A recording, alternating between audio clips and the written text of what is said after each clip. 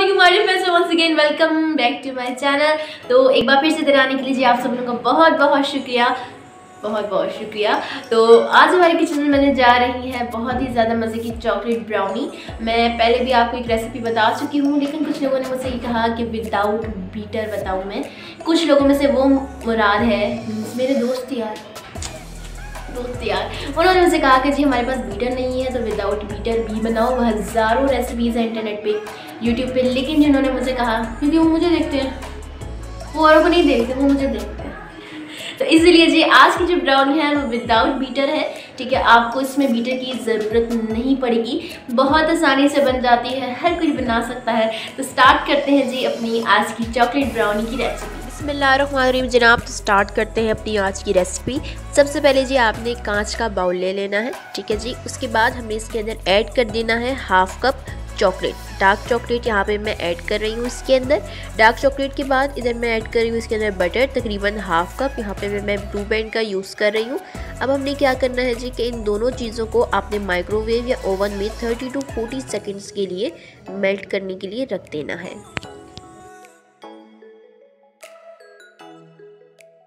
तो जनाब, चॉकलेट और जो बटर है, वो हमारा अच्छी तरीके से मेल्ट हो चुका है। थोड़ा सा जो रह गया था, उसको आपने किसी भी विस्क की मदद से या जिस चीज़ से आप इसको मिक्स कर रहे हैं उससे आपने इसे कंटिन्यूसली मिक्स कर लेना है तो जो चॉकलेट और बटर जो हमारा थोड़ा सा रह गया है, वो भी मेल्ट हो जाएगा। ठीक है जी? अच्छी तरीके से मैं इसको विस्क कर लूँगी। अब अगर आपके पास ओवन नहीं है तो आपने क्या करना है कि इसको डबल बॉयलर पे आपने इसको मेल्ट कर लेना है। डबल बॉयलर पे मेल्ट करने का तरीका बहुत ज़्यादा इजी है। सबसे पहले आपने कोई स्टील का बर्तन लेना है, उसके अंदर पानी भर के उस बर्तन को आपने बॉयल उस पानी को आपने बॉयल कर लेना है।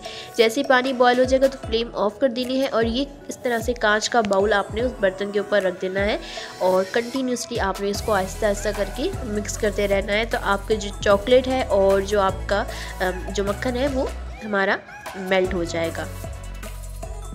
तो जनाब चॉकलेट और मक्खन अच्छी तरीके से मेल्ट हो चुके हैं। अब हमने इसके अंदर ऐड कर देनी है कैस्टर शुगर तकरीबन एक कप। सिंपल चीनी को आप पीस लें तो और पीस के आप छान लें तो आपकी वो कैस्टर शुगर बन जाएगी, ठीक है जी? अब इसको अच्छी तरीके से हम चॉकलेट के अंदर मिक्स कर लेंगे। तो जी कैस्टर शुगर अच्छी तरीके से मिक्स हो गई है। अब हमने इसके अंदर ऐड कर देना है one four teaspoon vanilla essence इससे ज़्यादा आपने ऐड नहीं करना, वरना जो टेस्ट है वो बहुत कड़वा कड़वा सा आ जाएगा, ठीक है? अच्छी तरीके से अब इसको भी मिक्स कर लेंगे। अच्छा जी, अब यहाँ पे मैंने बाउल चेंज कर लिया है, ठीक है, क्योंकि यहाँ पे एक बड़ा बाउल चाहिए मुझे।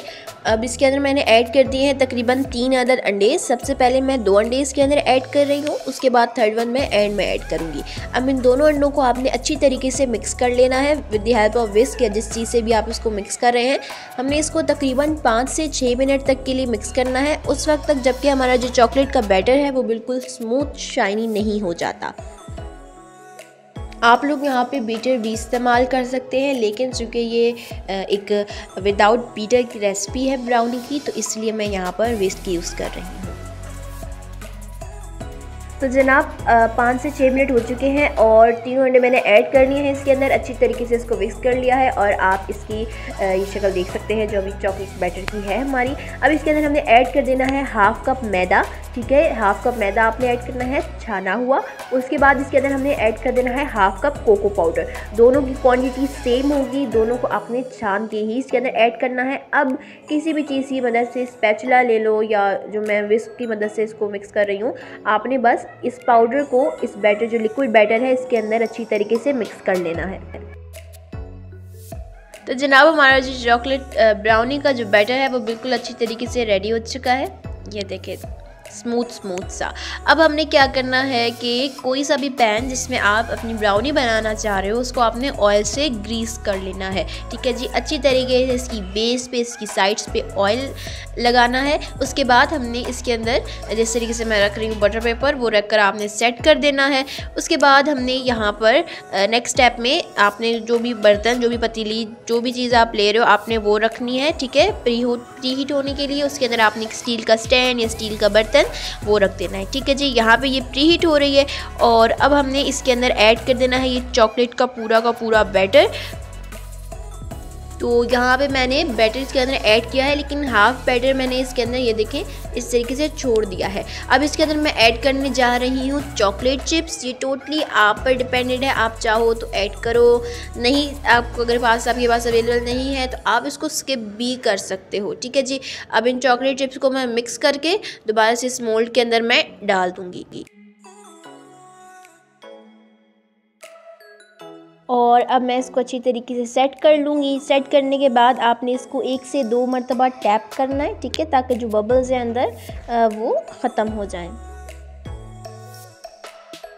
और तकरीबन अब 10 मिनट हो चुके हैं, ठीक है? जो बर्तन है वो प्री हीट हो गया है। अब इस मोल्ड को हम इस बर्तन के अंदर रख देंगे और अब आपने इसको कवर करके रख देना है लो फ्लेम पे 45 टू 50 मिनट्स तक के लिए, ठीक है जी? तो जनाब फोर्टी फाइव मिनट्स हो चुके हैं। ये देखें जी केक जो है वो बिल्कुल रेडी है। इसने साइड से जो हमारा जो मोल्ड था उसको छोड़ दिया था और अब हमने इसको निकाल लेना है किसी भी प्लेट में। इसकी साइड्स के जो आ, हमने लगाए थे बटर पेपर उनको भी हमने अलग अलग कर देना है और इसको मैं कट कर रही हूँ। ठीक है जी? आप चाहो तो इसको थोड़ा ठंडा होने के लिए रख दो फिर कट कर लो लेकिन मैं इसको गर्म गर्म ही कट कर रही हूँ। अच्छी तरीके से ये इसको मैं कट कर लूँगी। और अब इसकी सॉफ्टनेस ये चेक कर लीजिए आप लोग। तो जनाब, वीडियो आप सब लोगों ने देख लिया और मुझे उम्मीद है जी कि आज की वीडियो आप लोगों को समझ में आ गई होगी, पसंद भी आई होगी। आप लोगों ने लाइक भी कर दिया होगा, नहीं किया तो आप कर दें। और सब्सक्राइब भी कर दीजिएगा चैनल को। यस यस तो बस आज की यही वीडियो थी, इतने ही के इतने ही बातें करनी थी, इतने ही कह रहे थे, और मैं तो बस इतना ही कहना था जी अगर वीडियो अच्छी लगी तो चैनल को लाइक सब्सक्राइब शेयर कमेंट ज़रूर कीजिएगा। अपनी गाँव में अपनी बहन को याद रखिएगा। अभी आवाज़ें आने लगी इससे पहले कि जल्दी जल्दी से आपको आवाज़ें भेज दीजिएगी मैं यहाँ से भागती हूँ। और अल्लाह हाफिज़, अल्लाह